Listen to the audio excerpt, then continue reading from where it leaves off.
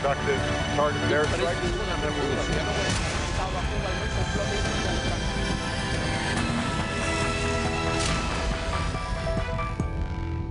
penete.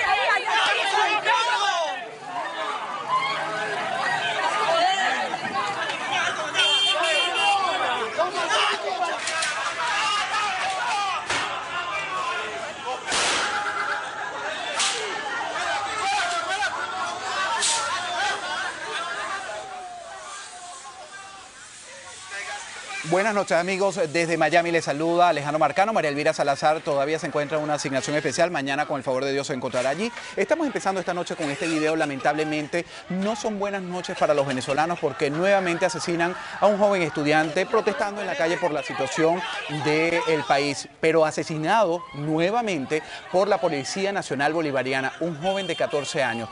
¿Cómo se puede o qué lectura se le da a esto? Eh, ¿Van a hacer con esto o tratar de callar lo que es el eco internacional de la detención de Antonio Ledesma, en lo que está pasando verdaderamente en el país y nos van a distraer con este nuevo asesinato que ya suma seis jóvenes en lo que va de semana, más los que llevamos contados en el último año desde aquellas protestas del 12 de febrero? Pues lamentable. Tenemos nosotros en línea y vamos a comenzar a analizar esto. Estamos en el estado Táchira con un estudiante.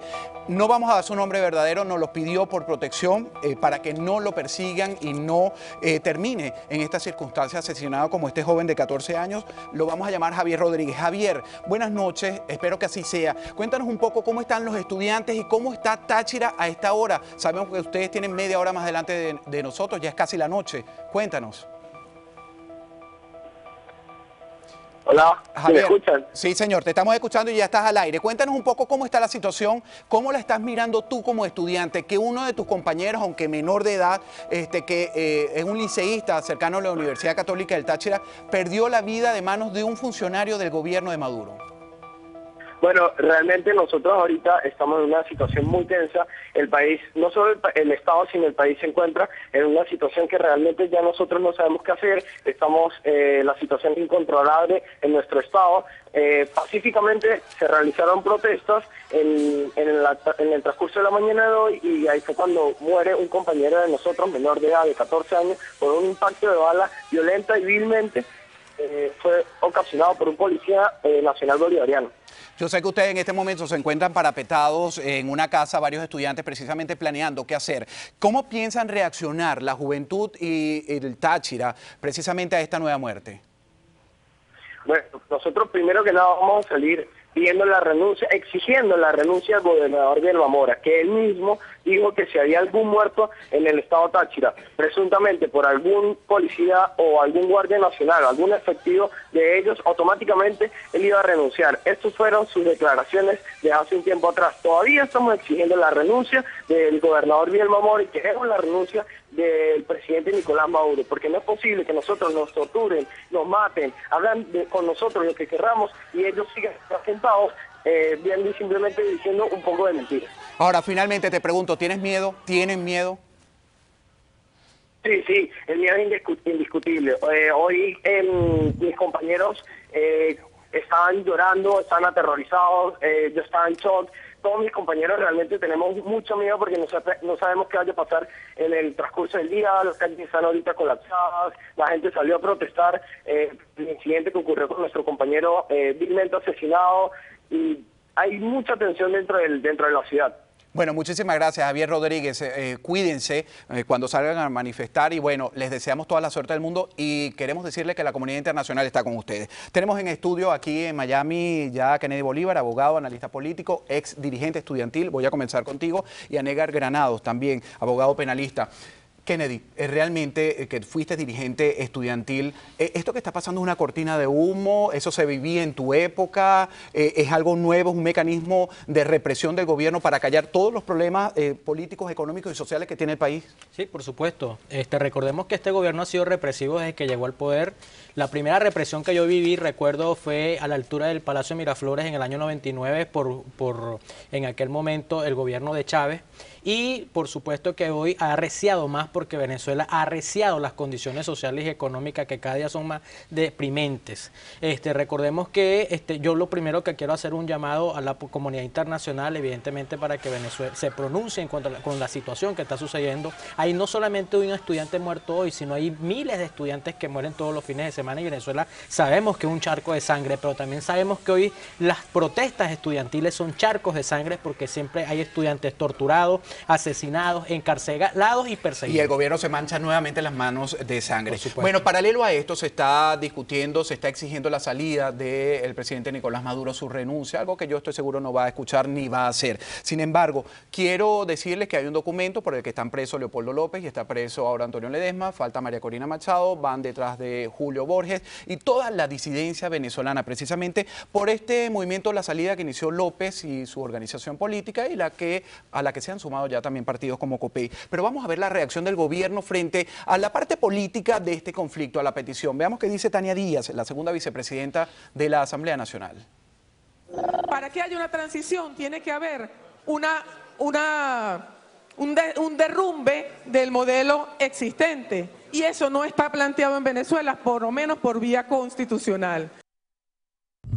Hay un documento que se firma, al que se suma precisamente COPEI, se eh, suma también Luis Miquelena, quien fue un aliado del presidente Hugo Chávez Frías durante un tiempo, un ideólogo del gobierno bolivariano y de la revolución. Pero bueno, hay otras personas que se han sumado, que se han sumado eh, precisamente a este movimiento. Por cierto, vamos a escuchar antes de entrar con tu opinión, Negar, con la firma de este acuerdo, vamos a escuchar al presidente del Partido Social Cristiano COPEI, el señor Roberto Enríquez en un acto de rebeldía cívica en defensa de la libertad y la constitución, pasamos a suscribir el día de hoy el documento de la transición. Bueno, podemos hacer una autocrítica porque ellos no lo habían firmado y precisamente ahora lo hacen porque ahora van tras de ellos. Media hora después de ocurrido esta firma, pues allanaron todas las sedes del partido COPE en Venezuela. Negar Granados, tú eres abogado y ¿cómo, ¿qué lectura le das a esto? Eh, ¿Va a haber más firmas? ¿Va a haber más compromiso? ¿Realmente va a funcionar este acuerdo? Buenas tardes, Alejandro. Efectivamente, es un acuerdo, como ellos lo dicen, a los fines de que haya una transición. Ahora, yo siempre he estado de acuerdo de que este es un gobierno que ya está en transición desde el momento que muere Pero Hugo no es un gobierno democrático que tú puedas pedir unas elecciones. No es un gobierno, efectivamente, estamos en presencia de un régimen militar establecido. Entonces funciona previo, esto, previo, perdona previo que te por, interrumpa, no, sirven estos papeles, por, estas solicitudes no, democráticas. Desde, el punto de vista lógico, jurídico, no sirve. Okay. okay. Desde el punto de vista político, es un acuerdo entre políticos y partidos políticos que oblig obligatoriamente tiene que darse a los fines de que salir de este, de este régimen. Ahora, hay algo bien interesante de lo cual tú acabas de decir. ¿Cuál es el motivo por el cual está preso Leopoldo López y cuál es el motivo por el cual está preso hoy en día eh, Antonio Ledesma? Son dos motivos totalmente distintos porque Leopoldo López fue enjuiciado por los hechos del 12 de febrero del año Pero 2014. Por el este de salir, ahí es a donde quiero salida. llegar, ahí uh -huh. es a donde quiero llegar. La salida no, no, era un, la salida no era un documento de, para llamar a una transición de gobierno. La salida era un movimiento al que llevaba adelante a Leopoldo, la calle, que es lo que están Leopoldo haciendo, López. a la gente en la calle para no que no salgan. tiene nada que ver con este, con este documento de, de eh, transición que están llamando hoy en día los partidos políticos. Ahora, ¿cuál es la situación jurídica de ambos? Leopoldo López se encuentra en un juicio, en una etapa de juicio, y Antonio Ledesma está privado de libertad 45 días para que el fiscal del Ministerio Público dicte una acusación por una investigación.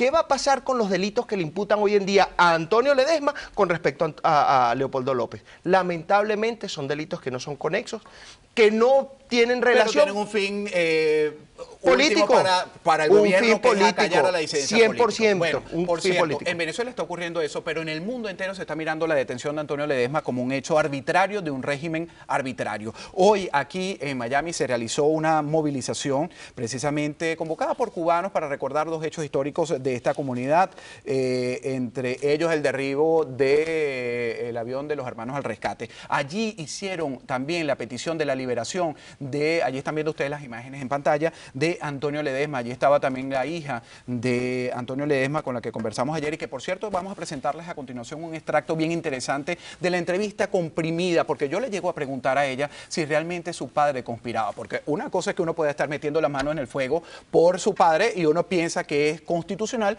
pero bueno, hay que preguntarle directamente a la familia, porque no sería ético uno como periodista no hacerlo. Les presentamos este trabajo que realizamos para La Voz de América, la agencia de noticias para la que trabajo. La noticia la ha sorprendido en Miami, donde conversó en exclusiva con La Voz de América, a la que le aseguró tener miedo por la integridad física de su padre. ¿Temes por la vida de tu padre?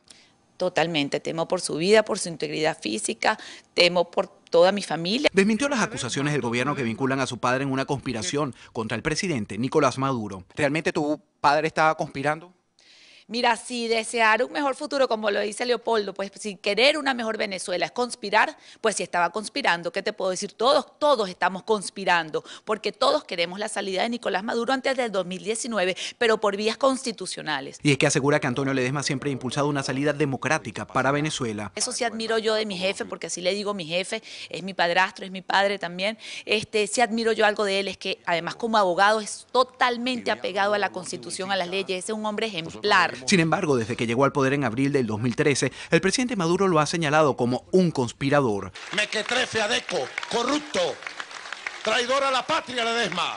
Aún afectada, Anela nos confesó que la prisión de su padre tiene un solo objetivo para el gobierno. Cortinita de humo tras cortinita de humo, porque es la única manera de ellos mantenerse en el poder, porque sin caos, ¿cómo reina la mediocridad? Y aunque pocos lo saben, Ledesma es suegro de Andrés Izarra, una figura importante del oficialismo venezolano, de quien nos contó que tras los hechos renunció a su más reciente cargo como ministro de Turismo. Él pues no estaba de acuerdo, tiene rato tratando de, de deslindearse, pues bueno, por fin lo hizo. Yo pienso que esta gota que fue la gota que derramó el vaso para él y una situación familiar ya de por sí complicada, pues ya, pero no creo que realmente él pueda hacer algo. Bueno, te pregunto antes de despedirlos, Kennedy, ¿tú eres conspirador? ¿Has conspirado? ¿Sabes de alguien que conspire? No, soy un demócrata que pide libertad, justicia y democracia para Venezuela. Negar, ¿tú conspirarías? Sí. 100%. Con armas, hay posibilidades de hacerlo. Lo que pasa es que la conspiración no necesariamente tiene que ser armada, la conspiración puede Pero llevar para adelante. lograr- para hacerla efectiva sí necesitas armas. Pero, pero inicialmente tiene que ser una conspiración ideal. Vamos a hacer un concurso para ver cómo conspiramos para salir de. Y ahí es donde estamos, un proyecto de salida. Bueno, le agradezco a ambos por estar con nosotros y gracias, por supuesto, por su tiempo y llegar a esta noche al canal aquí a Mira TV. Nosotros, amigos, tenemos mucho más información de Venezuela. No se aparten, seguimos con más en breve.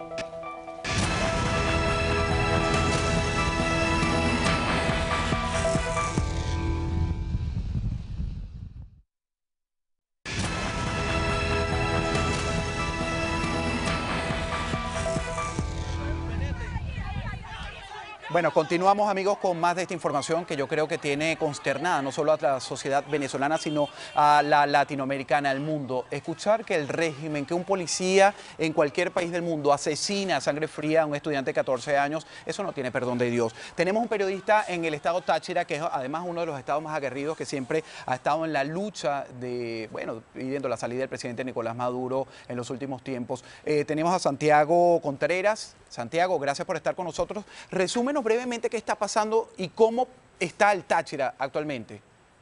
Bueno, eh, Alejandro, buenas tardes. El Táchira está enardecido. Eh, San Cristóbal totalmente en la calle, nuevamente sembrada de barricadas, de protestas, de manifestaciones de indignación general por el asesinato de este muchacho, un liceísta de apenas 14 años, quien habría sido asesinado a quemarropa por un agente de la Policía eh, Nacional de 23 años apenas también, el agente mm, Javier Mora Ortiz. eh, habría asesinado pues a Kluiber eh, Mora, quien por cierto es hijo de un fotógrafo de una alcaldía cercana aquí a San Cristóbal. Nuevamente pues eh, San Cristóbal está agitada y se piensa pues que la situación va a recrudecer en las próximas horas porque el estado de indignación es general. Alejandro recuerda que hace unas tres semanas también otros policías nacionales dispararon a quemarropa a estudiantes de la Universidad Católica del Táchira. Esto apenas días después de que el ministro de la Defensa anunciara el famoso decreto 8610 que mm, autoriza a los funcionarios militares al uso, y policiales al uso de armas letales. Muchísimas gracias, eh, Santiago Contreras, por la descripción de lo que está ocurriendo y por supuesto vamos a hacer nuevamente contacto contigo más adelante para monitorear lo que quizás comienza como un foco de rebelión nuevamente en el estado Táchira y se propague por el resto de Venezuela. Pero es lamentable lo que está viviendo el pueblo y Venezuela actualmente con el asesinato indiscriminado de este pequeño joven. El video ustedes lo veían, aunque hay mucho movimiento, la policía le dispara, lo deja en el suelo y escapa del lugar. Por eso es que esa ciudad está enardecida. Estamos con Marilena Labo, vamos a conversar contigo, periodista venezolana también, escritora, pero antes vamos a hablar un poco de la parte internacional, de cómo se está viendo la crisis en Venezuela y tenemos un sonido de la vocera del gobierno de Estados Unidos. Así que vamos a escucharlo primero y continuamos desarrollando el tema. Estamos dejando claro en todas nuestras conversaciones privadas con países del continente los mismos puntos que enunciamos en público, que estas acusaciones de organizar un golpe de Estado en Venezuela son falsas, son ridículas. El gobierno de Venezuela tiene que dejar de culpar a Estados Unidos y a otros miembros de la comunidad internacional por fenómenos que suceden dentro de Venezuela. El gobierno venezolano debe centrarse más en los desafíos dentro de su propio país. Esto es solo un esfuerzo para distraer. Bueno, estamos escuchando la voz de Estados Unidos. Realmente ellos se lavan las manos, no tienen nada que ver con el golpe de Estado.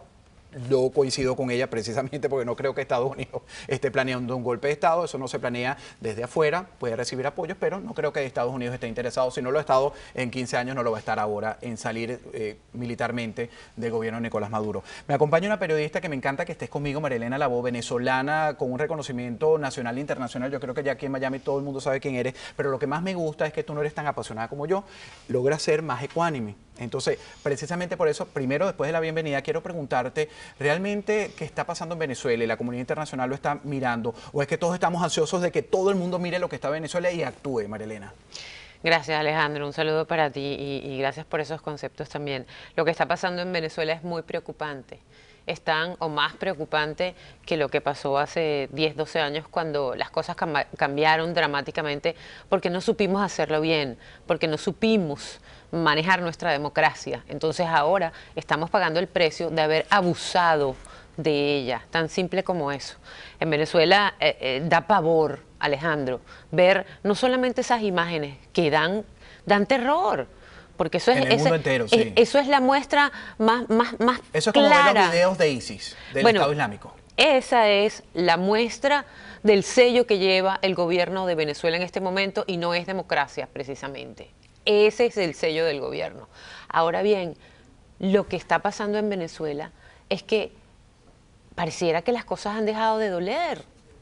No puede ser que solamente el sector a donde pertenece el muchacho que fue asesinado es el que esté levantado. Bueno, tú lo sabes, esa zona de Venezuela es la que más líderes ha dado por no precisar presidentes porque no todos han sido, pero es una zona, digamos, caliente con una conciencia social muy clara. ¿Qué pasa con el resto del país? No, podemos seguir manejando el país con el control remoto. Y yo no soy tan apasionada como tú, pero es que cualquier persona con, un, con un mínimo de ecuanimidad analiza lo que está pasando y se da cuenta claramente que la sociedad venezolana está prácticamente anestesiada. Pero fíjate, faltan voces no solo dentro de Venezuela, también en Latinoamérica, para que se levanten y digan realmente, o describan lo que está pasando para que el mundo entero y las organizaciones que se deben encargar tomen cartas en el asunto, la Organización de Estados Americanos, la Comisión de Interamericana de Derechos Humanos, la Corte Penal Internacional. Pero bueno, fíjate, hablando de esto, tenemos una reacción de Juan Manuel Santos, el presidente de Colombia. Todos sabemos la relación que hay entre Nicolás Maduro y el presidente Juan Manuel Santos. Todos sabemos,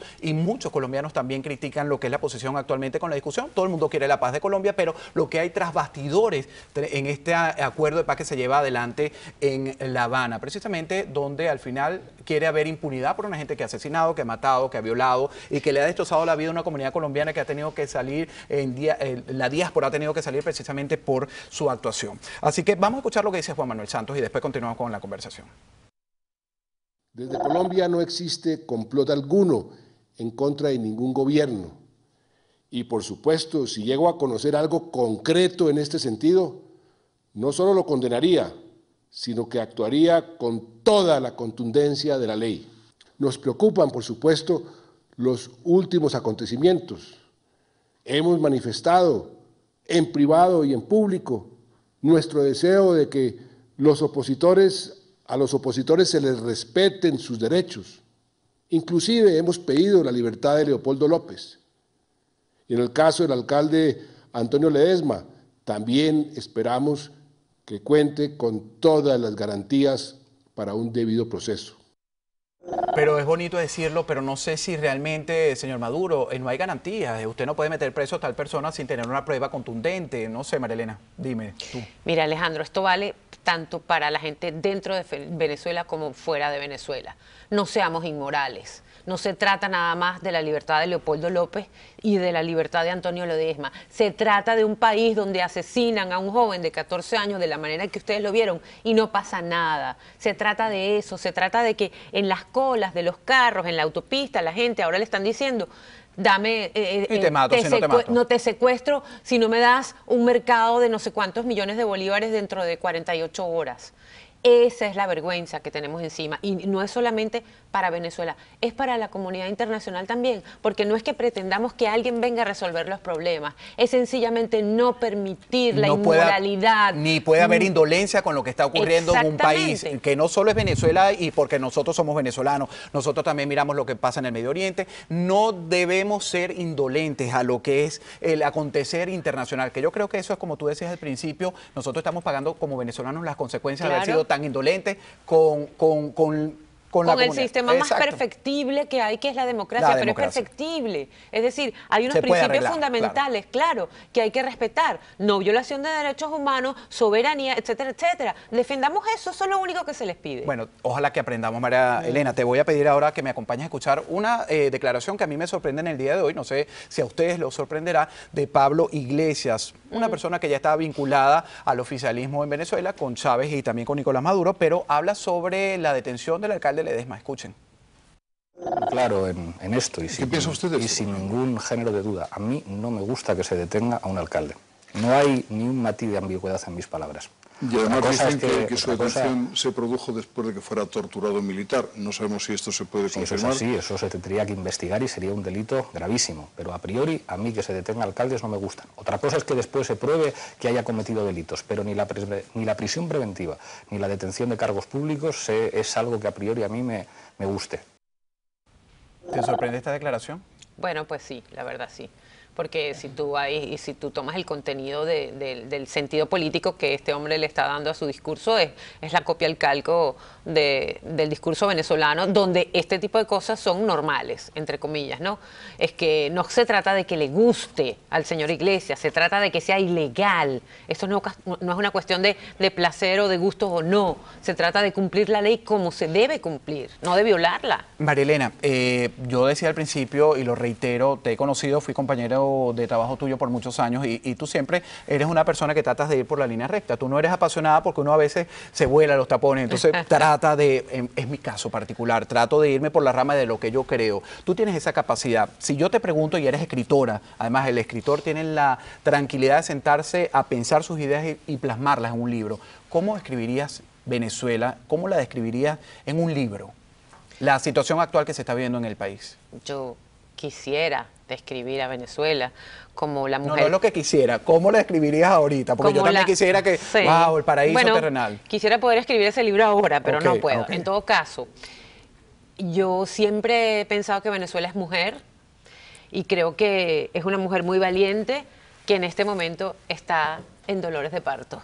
Y tú sabes perfectamente, porque tu esposa ha tenido hijos también, que después del gran dolor que significa eh, traer a un ser humano al mundo, todo ese dolor se olvida cuando tú tienes un, cuando tú puedes alumbrar una nueva vida, cuando tú puedes traer y tener en las manos un hijo y darle todo lo que, necesita. Hacerlo crecer al lado tuyo Entonces, con amor. Exactamente pienso que Venezuela está pariendo, entre comillas. Venezuela está en dolores de parto.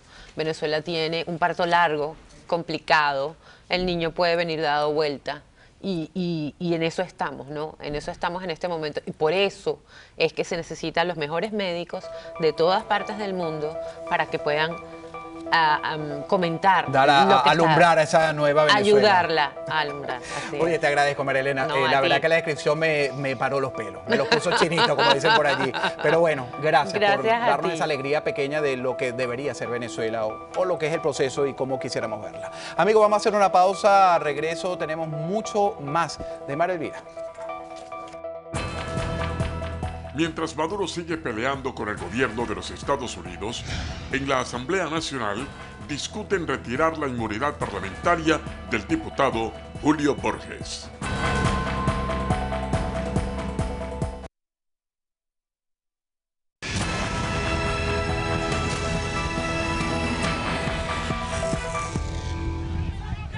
Continuamos amigos viendo estas imágenes de este estudiante que fue asesinado sangre fría en el piso cuando estaba pues haciendo algunas protestas. Tenemos una información de último minuto que nos ha llegado a la mesa de trabajo. Ha sido detenido un miembro de la Policía Nacional Bolivariana, supuestamente responsable de este hecho. El oficial de la policía Javier Mora Ortiz, de 32 años, lo están responsabilizando. De hecho, dicen que el Ministerio Público designó ya dos fiscales nacionales en Venezuela para eh, pues, investigarlo y las causas de este hecho. Yo la verdad es que dudo muchísimo porque esto es un mismo libreto hacen el hecho, por- es una opinión muy personal, me disculpan si ofendo a alguien con esta, eh, pues y después tratan a un chivo expiatorio de meterlo en la cárcel para que la gente se tranquilice y de esta manera pues eh, amainar los ánimos en Venezuela. Pero es un hecho lamentable, condenable y que, bueno, como decía Marianela Labot hace algunos minutos, pues no debería ocurrir ni en Venezuela ni en ninguna parte del mundo. Bueno, vamos a hablar ahora en este segmento del gobierno de Maduro, en qué status quo se encuentra actualmente y esa pelea que tiene con los Estados Unidos. Dentro de un momento presento a mis invitados,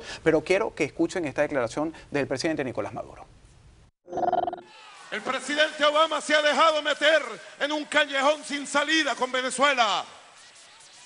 Y yo no voy a permitir que el gobierno de Estados Unidos continúe y su embajada llamando militares, tratando de comprar periodistas, opinadores, dirigentes.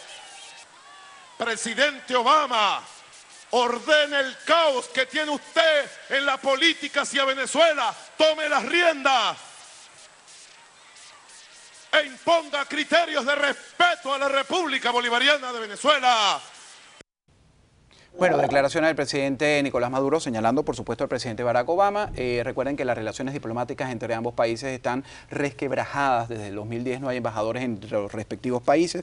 Pero bueno, es constante la lucha. El gobierno de Estados Unidos desmiente que está detrás de un golpe. Eh, Maduro, cuando se ve eh, pues ahogado con el agua hasta el cuello, dice que la responsabilidad de todo lo que está ocurriendo en Venezuela es del extranjero, no de Venezuela. Eh, bueno, precisamente no sé qué imágenes tenemos allí de la protesta de cuando el exacto, disculpen. Es el presidente Nicolás Maduro cuando está insultando a Estados Unidos. Pensé que era la marcha que se realizó en el día de hoy, donde estabas tú, una de mis invitadas en este segmento, Janet González, miembro de BEPEX. Por cierto, cuéntame un poco de esta movilización, porque no había solo venezolanos. Se ve que hay una comunidad internacional que también está siguiendo este, este tema de Venezuela con ansiedad. Tú sabes lo que pasa, que hoy se juntó en la protesta de- del exilio cubano por la voladura de los aviones del Manos al Rescate. Hoy se conmemoraba un año de esto.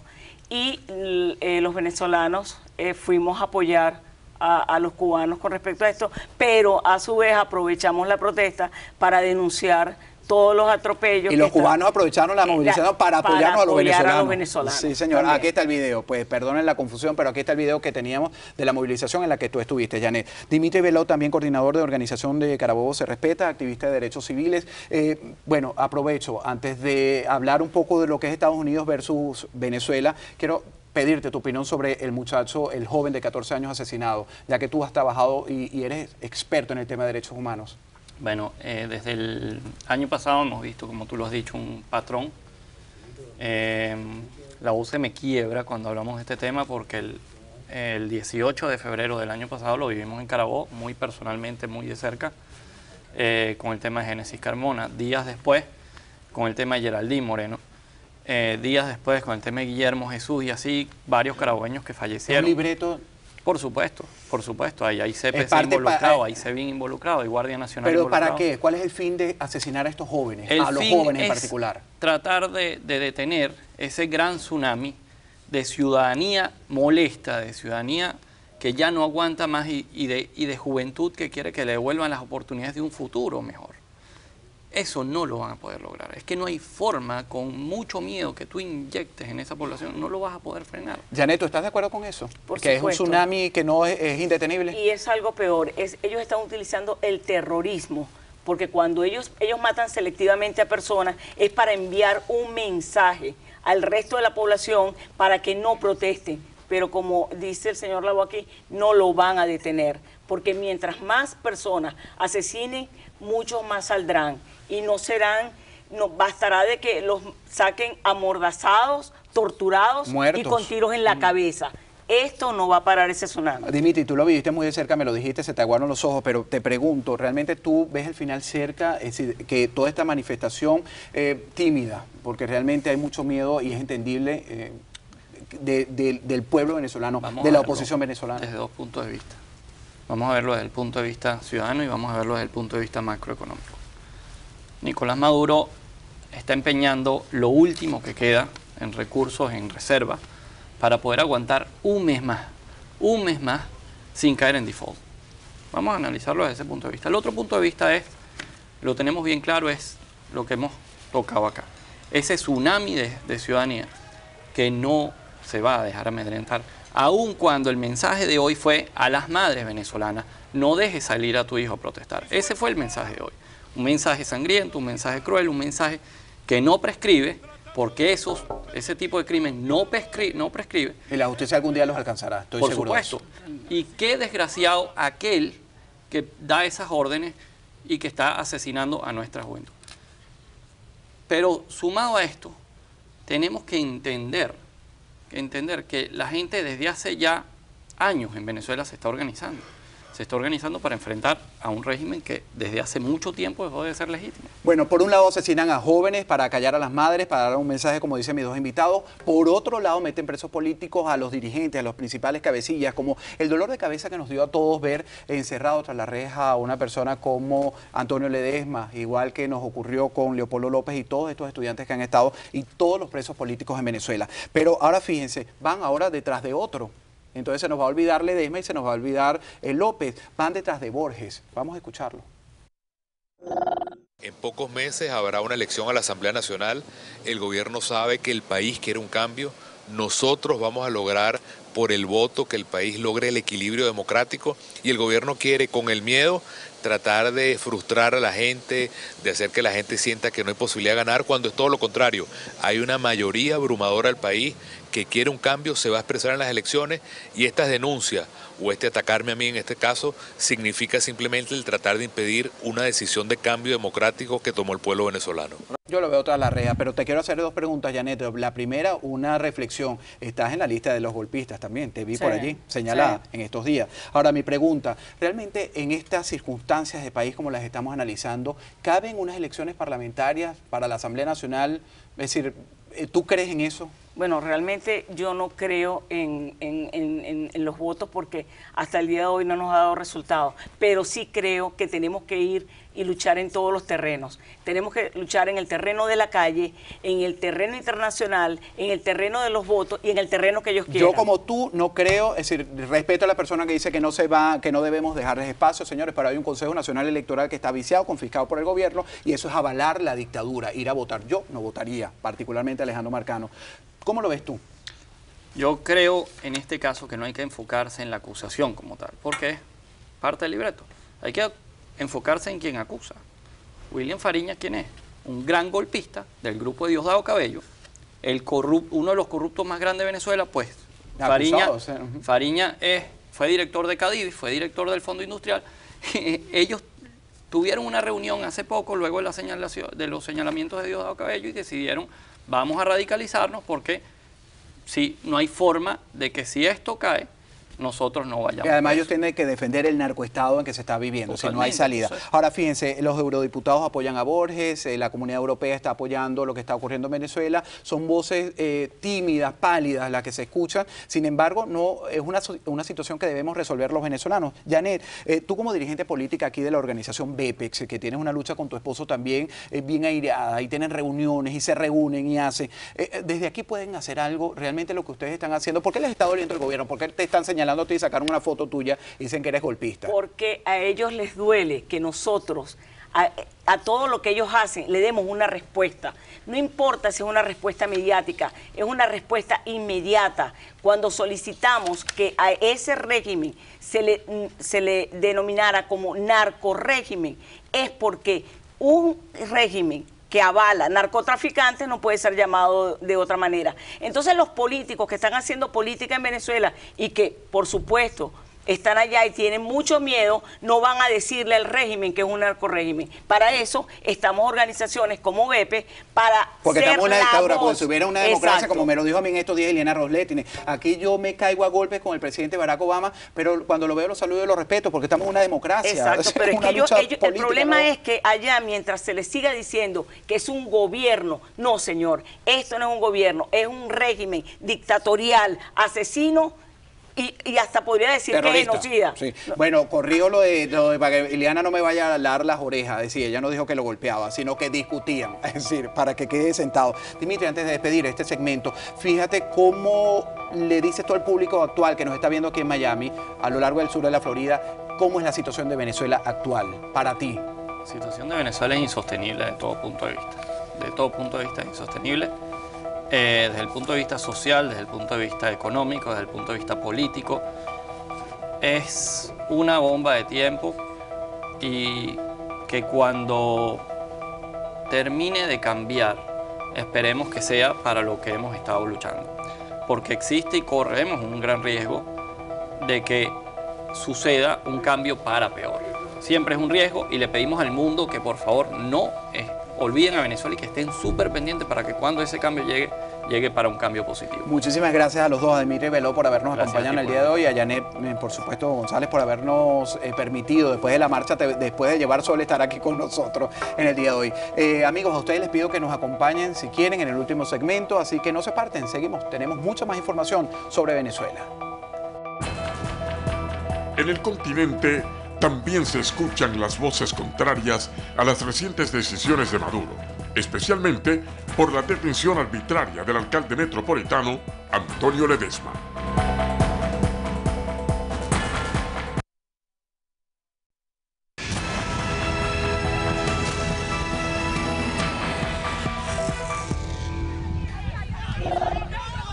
Bueno, una noticia que nos tiene conmocionados a la comunidad internacional en Venezuela. Nuevamente se calientan las calles, se recalientan aún más de lo que han estado en las últimas horas, precisamente después de la detención del alcalde metropolitano Antonio Ledesma, la forma arbitraria como lo hicieron, en lo que está ocurriendo a nivel político. Y bueno, a, a todos se nos ha olvidado un poquito el tema económico, eh, la escasez incluso de pañales. Cada vez que uno escucha un cuento es más terrible. Es decir, yo he conversado con amigos que me dicen, no, yo salgo y compro un centro comercial, pañales, y los tengo que llevar escondido, lo decía Marilena Laboda hace minutos, porque te los roban, te asaltan, te quitan la vida por eso. Entonces, bueno, hay varios factores que están ocurriendo en Venezuela que parece un hervido cuando uno monta una olla con verduras y ya está súper caliente. Entonces, Francisco Acosta nos acompaña en este segmento, economista, analista político, conductor de 60 minutos de impacto en Actualidad Radio, y José Hernández, periodista también de El Venezolano, y también político de la MUD, porque tú, eres, tú ah, cubres muchas áreas aquí en el sur de la Florida. Pero quiero comenzar contigo, Francisco.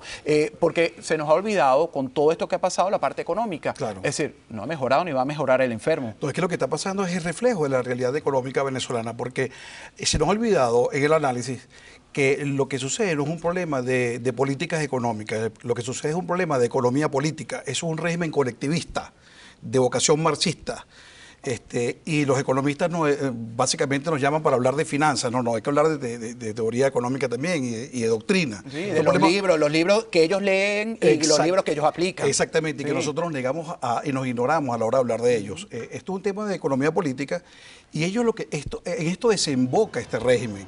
Esto es producto de esa propuesta económica y definitivamente mientras nosotros no estemos claros en que en lo que hay que desmontar es el régimen, profundizaremos en esto, ¿no? Eh, Trágicamente veremos más muertos, más represión, menos Es producto. todo lo mismo, Francisco, que, eh, eh, qué interesante. Es todo lo mismo la parte económica y este muerto, este Es jovencito de 14 están años. directamente relacionados, mucho más que el precio del dólar y, y la escasez en los mercados, Wow. mucho más. José Hernández, ¿tú coincides con esta posición? completo, en total. Te voy a poner unos casos muy particulares. Yo no sé ¿En qué parte de Caracas vivías tú? Yo vivía entre Chapillín. Santa Paula. Yo vivía entre Chapillín y la En el Florida. este, yo era del este. Iba, iba para el colegio La Salle, La Colina, y yo caminaba por esa zona, y ahí tú te- de repente te conseguías baterías. Perdona, perdona para aclarar, perdona que te interrumpe. La gente se metía con la gente del este de Caracas y, y el, y el chavismo, eh, pero precisamente él tenía algo de razón en eso. Nosotros los del este de Caracas pensamos que éramos la mayoría y resulta que la mayoría era lo que vivían en el oeste. Pero más allá de eso, yo caminaba al colegio como niño, como este muchacho que iba caminando y lo mataron. O sea, porque de repente entró la balacera y el muchacho de 14 años que no tenía que ver le metieron un tiro en la cabeza. Entonces la gente entra en la duda, ¿estaba en la marcha o no estaba? No, lo mataron, chicos. Lo. Importa qué pasó, lo mataron. Eso ya es otra cosa. No importa de dónde sea, del este o del oeste. Pero lo que él dice, yo cuando niño, yo iba caminando y tú te conseguías baterías Duncan, baterías Fulgor. Esas eran empresas que exportaban al mercado andino y al mercado caribeño baterías.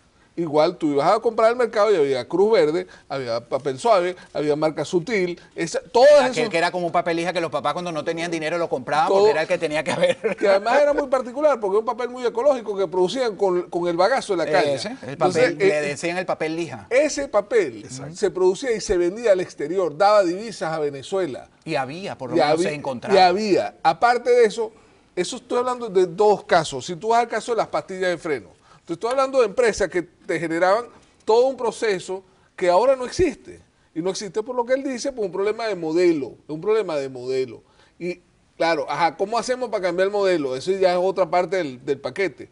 Pero el modelo hay que verlo en total, o sea, no, no es un pedacito, no es... O sea, el montón de asesinatos que hay en Venezuela, que esta semana haya habido siete asesinatos de jóvenes con este niño, con los, con los cinco muchachos que pasaron en la, en la semana pasada. Entonces llega una excusa, no, es que fulanito no estaba en la marcha. No me importa, chicos, lo es, mataron. así es. Fíjate, y eso es lo que está mirando José, eh, o lo que pretendemos que mire la comunidad internacional. Antes de que me respondas eso, quiero escuchar a Ernesto Sampero, el representante de la Unión de Naciones. Suramericanas, sí, el Presidente. presidente de UNASUR. Vamos a escucharlo y seguimos hablando a ver si esto mismo que estamos describiendo aquí es lo que está viendo la comunidad internacional que ocurre en Venezuela.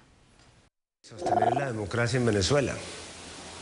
UNASUR se creó para hacer una transición tranquila de lo que fue la vieja época, oscura época, las dictaduras y los gobiernos autoritarios hacia las democracias que hoy día tenemos en toda la región. Tal manera que mm, una intervención de UNASUR para preservar un proceso democrático, para respaldar a un presidente que, como el presidente de Venezuela, fue el resultado de una elección democrática, pues creo que ese es eh, parte de los deberes que tiene fundamentalmente UNASUR. Voy a escribir, voy a dejar que sean mis invitados porque me da un poquito como de... No, no, no, no hables Alejandro. ¿Qué dicen ustedes de esta declaración? Eh, eh, ¿Cómo mira eh, los organismos internacionales? ¿Sabemos si son afectos o no a la realidad venezolana actual? Pero Francisco? primero, primero, primero, organismos internacionales, quienes son ONU, más de la mitad de los países miembros de la ONU no son democráticos. OEA, controlado por este tipo de caballeros. UNASUR es un tinglado creado por Chávez para hacer un escudo de protección internacional. Venezuela no puede depender de los organismos internacionales, tiene que depender de nosotros, definitivamente. Pero no podemos estar solos, ¿o sí? No, Solos. pero el problema no es que estemos solos. O sea, el, el problema de Samper es, es un problema, yo, yo de verdad que lo entiendo, porque es un problema personal. El- su pago depende de eso. así de sencillo. No, no, no, hay, no hay que llamarlo más allá. Tú tienes Yo no quería opinar por eso. Tú tienes un señor que no tiene visa para los Estados Unidos y el gobierno de Venezuela le pide que intervenga en las relaciones de los Estados Unidos y Venezuela y no tiene visa porque simplemente tiene dudas sobre si participó en procesos de narcotráfico o no. A lo mejor no, a lo mejor un tipo es un tipo muy serio, pero no lo sé. Y el Eh, hay es- dudas sembradas en lo que y fue el su tipo es el presidente de este negocio. Ahora, hay otra, otro problema. Esto no es lo mismo antes y después de todo lo que ha venido pasando. Por más Samper que esté, por más que toda la gente quiera tapar el sol con un dedo, ya tú no tienes a un montón de presidentes haciendo una serie de cosas, ya tienes un, presi- un expresidente norteamericano haciendo cosas, ya tienes un departamento de Estado diciendo cosas, ya tú tienes una comunidad internacional en otro tono, tú tienes un país como Canadá en otro tono. ¿A eso a qué se debe, eh, Francisco? a que esto ya es, eh, eh, es inocultable. El, el carácter totalitario y opresor de este gobierno eh, es inocultable. Y los países... Que no es malo para el gobierno, porque el gobierno cree que es bueno y está el problema Por del supuesto, modelo. Por supuesto, el problema del modelo, porque así se comportan ellos. Lo importante de esto, como dice eh, nuestro compañero de esta mesa, es que lleva al... Así que le dices camarada. Al, no, esa palabra no existe en mi vocabulario. En mi vocabulario no existe esa palabra. Al menos que quiera insultar a alguien. Mira, eh, lleva al escenario nuevos o, los mismos eh, participantes anteriores, pero con nuevas propuestas. Los Estados Unidos, Canadá, la misma situación de, eh, de, Brasil, que vemos que Brasil, que fue un pilar fundamental en la construcción de la protección chavista internacional, está prácticamente callado ante lo que está ocurriendo y nada más callar para ello es terrible. Exacto. Por ejemplo, hoy, hoy que estamos, mientras estamos haciendo esta cuestión, está Nicolás Maduro en Trinidad y Tobago reunido con todos los países del Caribe. Mm. Eso es de gratis, no. Hay 15 votos en la Organización de Estados Americanos que con dos tercios tú te, tienen que sacar de la organización. Que hay la posibilidad que se invoque la Carta Interamericana por el artículo 20 de la Carta Interamericana. Pero no la van a lograr porque tienen ya... No, no lo sé. Esa parte no la sé, a lo mejor. No lo sé, porque Insulsa va de salida, Insulsa puede ser uno de los invocantes. Ahora el, gobierno salió apurado, montó un tinglado en Trinidad y Tobago, que es el que país vecino, y mire, vamos a traernos a todos a ver cómo hacemos para, porque no hay plata para eso. Ajá, pero fíjense cómo termina la idea, porque quiero concluir antes de que se termine el programa con el futuro. ¿Cómo lo ven ustedes? Si Estados Unidos decide tomar el puesto que le corresponde en la OEA, como líder de la democracia de este continente, levanta el teléfono y todas esas islas que estaba visitando Maduro hoy mañana votan a, favor bueno, yo lo de dudo, una... Yo lo dudo. Yo dudo que, dudo que Estados Unidos lo haga. Yo no sé, posiblemente por la eh, tendencia e incluso dudo que estos países puedan atender esa llamada precisamente porque reciben cuotas de precio de... Pero ya no hay tanto. Ya no hay tanto pero hay, es un narcoestado. Acuérdense que el gobierno venezolano, eso es lo que no se dice... no es tanto, Alejandro. Son 15 países que tienen que darle platica todos los días. Y el vicepresidente de los Estados Unidos también está proponiendo intervenir. Pero tienen dinero que viene de otra fuente, que generalmente pero más allá del dinero, es que el dinero también se acaba, eso todo se acaba. Ah, bueno, pero no se ha acabado. O sí se acabó. No, se, no se ha acabado. Pero, es, pero es otro tema, es otro tema. Y es un problema también de los quiebres dentro de la estructura ideológica del régimen. Al señor este, el segundo del, régimen, no lo están acusando de narcotráfico con los grupos armados colombianos ideológicamente adeptos. No, lo están acusando de narcotráfico con el cartel de Sinaloa. O sea, no, no, es la misma. Cosa. No es el mismo baile. Una excusa filosófica. No, una excusa filosófica atrás. Sí, 30 segundos para cada uno para que me digan cuál es el futuro según su criterio para Venezuela. Es decir, porque pareciera que estamos en un momento decisivo, de un parto, pero, mm, pero parece que todavía también, por otro lado, faltan muchas cosas por ver. Yo no creo que, que la solución venga mañana, pero sí creo que estamos poniendo un nuevo liderazgo. Un liderazgo que está claro. Que no hay ninguno de los que está ahorita. No, señor. mi esposa coincide contigo. Yo no sé si es uno de los que está ahorita o no. Yo lo que sé es que el liderazgo que venga depende de una unión sincera y real de todos los venezolanos en relación con el país que queremos tener. ¿Debes tiempo, eh, dos años, tres años, un mes? Eso depende, puede ser mañana, si quieres, puede ser dentro de dos años, diez años, no lo sé, pero lo que venga tiene que nacer a partir de la unión de los venezolanos. De lo contrario, va a servir muy poco. Francisco, si te pregunto cuánto tiempo lo visualizas tú. No, no, por este año, no por este año. Puede venir una sorpresa, pero por este año le veo muy difícil. Este como Adriana así, mirando la bola de cristal. Es que no, hay, no, es fácil. Yo coincido con José, la verdad que puede ser mañana, pero, pero no es pronto. No es, pronto. hay muchos factores que pueden influir. Les agradezco a los dos, a José Hernández y a Francisco Acosta, de verdad, excelente discusión. Amigos, volvemos en breve con más.